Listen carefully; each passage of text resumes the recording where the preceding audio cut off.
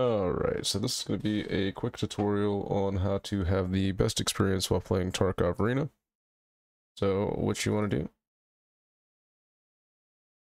go ahead and open your launcher here, and you want to go to game settings, you go ahead and browse local files, and you want to make sure that you're in the Battlestate Games Escape from Tarkov Arena folder here. We're going to highlight all that, and you're just going to hit the delete button on your keyboard and then uh, you're going to go play another game because this is absolute garbage. Y'all have a great day.